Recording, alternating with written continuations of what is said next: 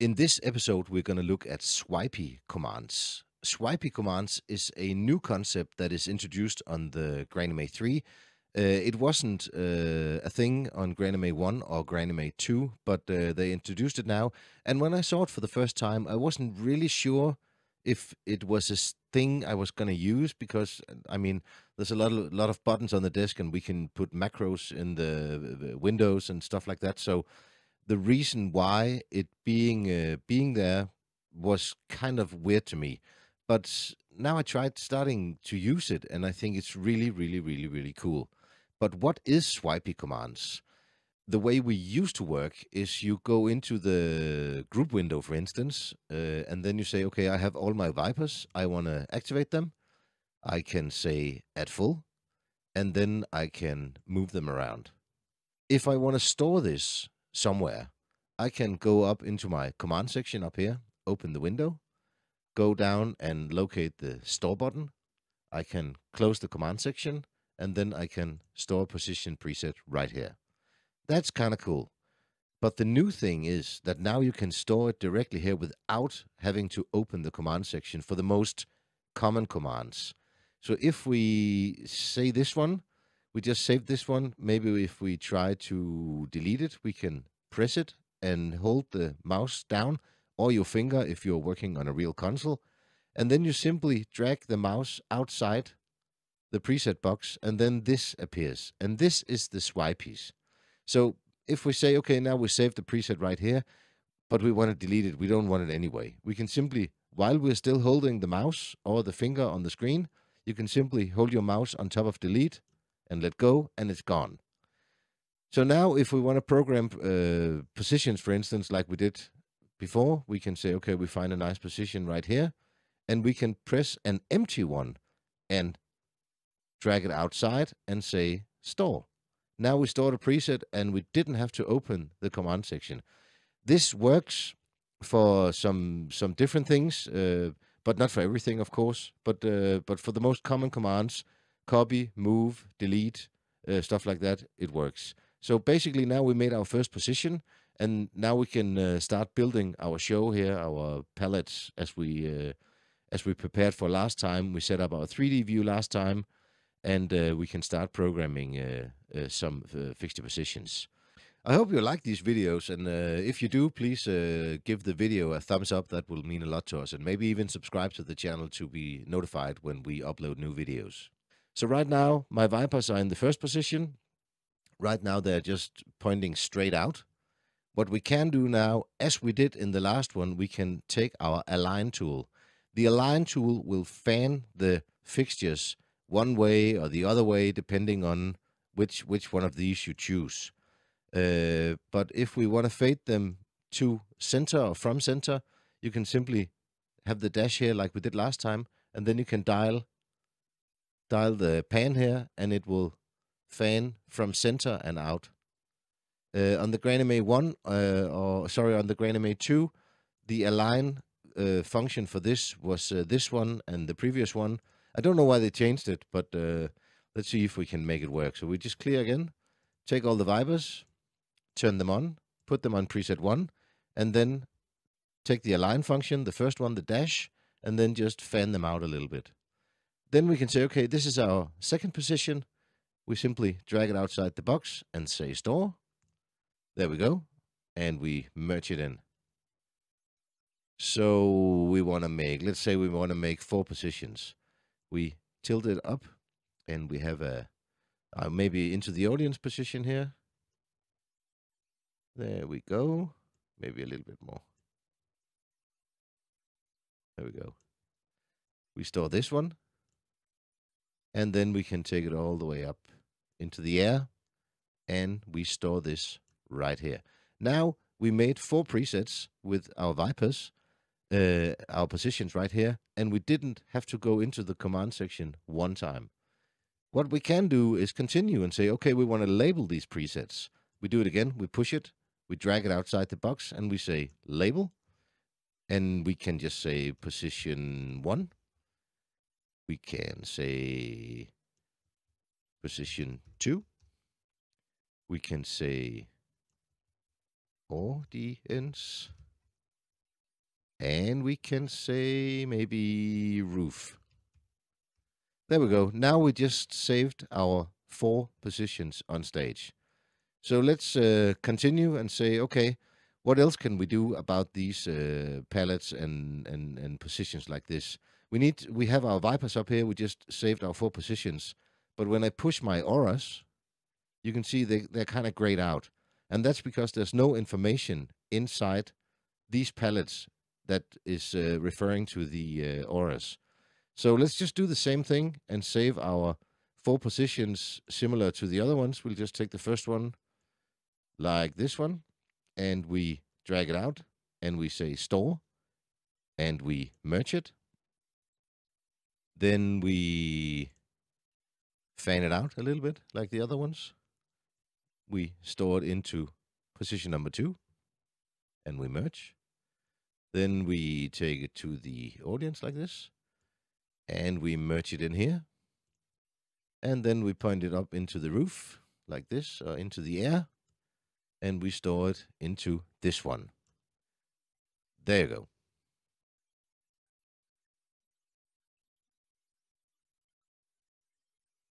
Now we made our four positions for our Vipers and our Auras, and we didn't even leave this window. Under normal circumstances, you would have to open this one and say store, and then close it and push a button. Or you could write store in the command line. We'll get back to the command line uh, in a later tutorial because you can actually do everything from here as well. But uh, that's that's for a different tutorial. So while we're at it, let's uh, let's make some colors. Let's take the Vipers and let's just, uh, no, let's actually do something different. Let's just take the first Viper, and that's called 701. I push that one, and only this fixture appears. Let's go uh, play with the colors a little bit. We, we don't have any colors lined up right now. We have the colors down here, and of course we can, uh, if we turn it on like this, we can mix some colors and, and start playing around with it. But of course, there's an easier way to do that. We want to make our color presets up here uh, in this uh, color pool up here. But we need to make a view with our color picker first. So what we can do now is uh, delete our screen. We have our view stored up here, like we did in one of the first episodes of the tutorial. If we push that one up here, remember we could delete this screen over here if we push that button under the display tab, it's black. And then we push the button up here, or just push uh, any area in inside the, the, the the black part of the screen, and we under the common select our color picker, and that opens up a color picker. You have four different ways of doing it. You have the swatch book where you can go in and say, okay, I want a Lee color, and if you are old like me, you will remember. Uh, 181 is Congo blue, and you'll remember 106 being red, and and so on. But uh, that's basically not the way we do it anymore. That's from the good old par cans. We can use our faders. We can say, okay, I want full cyan, no magenta, and no yellow. That'll just give us a cyan. Or we can take the color picker right here and say, okay, where do we want to be? Uh, for my sake, I always want to start with having an open white color on my color preset. So I can always get rid of the, any color that's that's in the preset. So let's just drag it down to white, go back to my first view, and then we can just store this one up here. Now we made our first color preset. And we forgot to store the view, so let's just do this again. Delete the screen and open the color picker, and we're back. And then we can...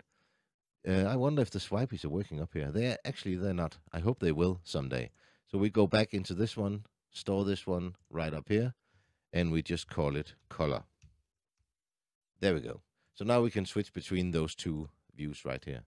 We stored the white one up here. We can go back into the color tab, select the color picker right here and say, okay, the next one is uh, cyan, maybe. You see it turned cyan color right here. We can use our swipey to store the cyan. We can go into the uh, maybe a magenta. And we go back and we store the magenta color. And you see, it always opens on the wrong tab right here. and that's a that's one of the things about views. Wherever you leave it, it's going to come back to when you store. If you store it like this, every time you push it, it's going to be like this. So if we push this one and say, okay, this is what I want to see all the time, then you can say store, and on top of the color, we say okay. And now when I go back to the view, we have our color picker. So right now we stored our cyan, we stored our magenta. Let's just store a yellow. Maybe red color. And let's just uh, let's just find a blue color and then let's call it a day. All right. Now we stored white, cyan, magenta, yellow, red, and blue. I like to I like to label them, and we can use the swipey command to do that as well. You drag it outside the box, you label it. We label it white. We label this one cyan. We label it magenta. And we take yellow here.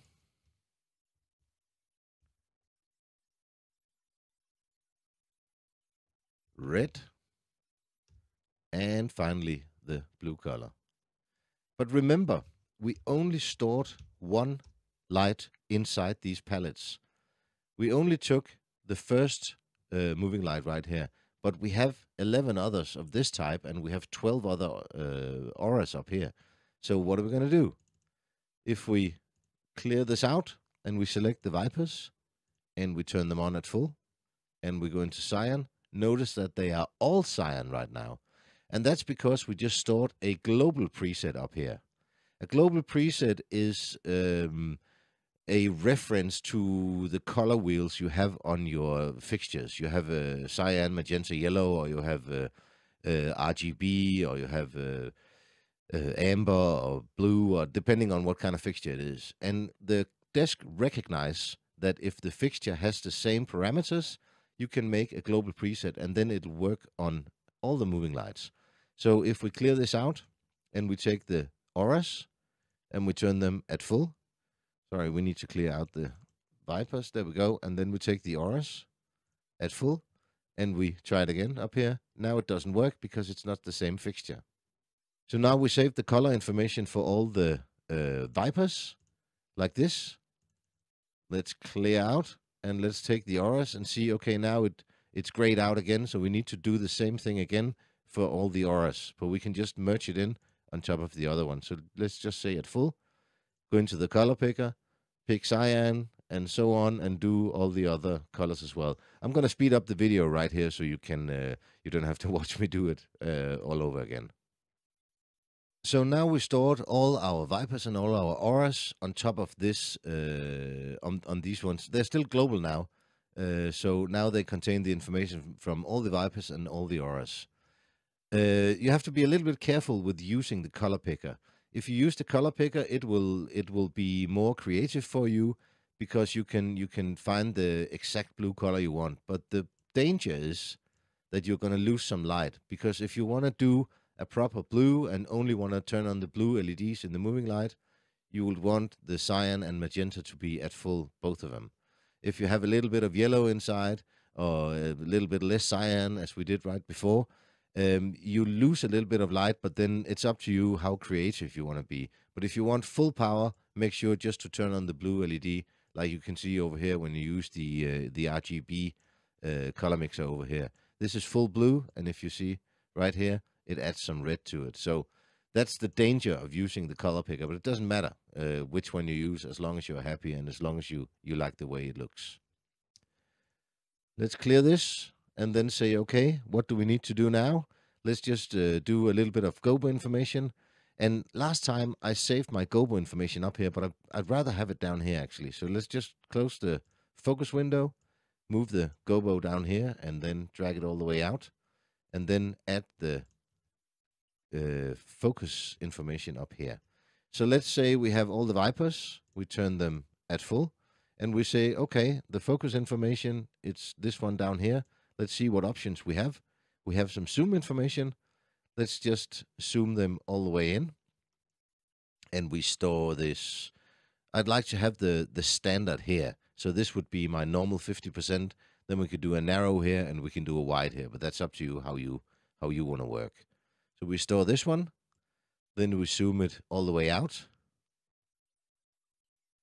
There we go. And we store this one here. And then we see if we can find the the default and we store this one right here. So now let's just label this. We label it and we say standard. We say narrow. And when you label these ones, you don't have to, you basically don't have to use the, the swipeys uh, and push the label button. You can just press it and say wide on your keyboard. So that's the same thing, depending on how you want to work. What we can also look at on the swipeys is some of the other uh, other things here. You can assign stuff to different views. That's also for a later tutorial. You can delete them like this. It's gone. Then we can just type oops down here. We can move it over here or we can copy it over here. Let's just delete that one again. And let's just move this one back into position right here. So that's pretty cool. That's working with Swipeys. Swipeys is brilliant. And while we've been working with Swipeys, we actually started our programming session for all this stuff up here. And uh, this is going to be the basis for when we start to program our show for real. So let's just finish it with uh, some uh, Gobo information down here and say, okay, which of these moving lights contain Gobo information? That would be the Vipers we go into Gobo, we take Gobo number one, Gobo wheel number one, and we go into channel sets, and there you'll see the the five Gobos and the uh, the open Gobo. Uh, you can just push it and select it, and then we can store it right here. That would be the open Gobo, and dots in space. We store this right here, and you can see the Gobo appears on the palette, which is pretty cool. Then we can say happy down here and then we can say, oh, I don't like the limbo one. I like this one, this one, and we store this one down here. So now we have no gobo, gobo number one, which we want to use, the second one we want to use, and the third one we want to use. Depending on what kind of show you do, I don't know. I, I always store two, maybe three gobos, and then then that's going to be fine. Last but not least, we have the beam here, and the beam option is some strobe options, some iris options, some frost. And you can see right here, it says beam one of three. So this is basically page one. You have your four encoder wheels. That's number one. You pay, press it right here, and then it changes to four other options. And last but not least, you push it on to page number three, and then you have the last option. So beware that in some cases, stuff will be hidden behind this one. You can see RGB here on the color tab. If you push it, you will have some static colors. You have some CTO, some more color mixing. Some you can tweak the color temperature if you're making a TV show. Uh, but but just be aware if there's something you can't find, most likely it'll be hidden between these ones. And somewhere right here on the right side or the left side, or I don't remember where they are, uh, there's uh, suggestions for a playlist that will cover all the episodes on our GrandMA tutorial journey. So if you want to learn GrandMA programming, or if you want to learn to use the GrandMA uh, lighting desk or the lighting console from uh, MA Lighting, uh, please check one of our other videos. Thanks for watching, and uh, I hope to see you next time. Bye bye.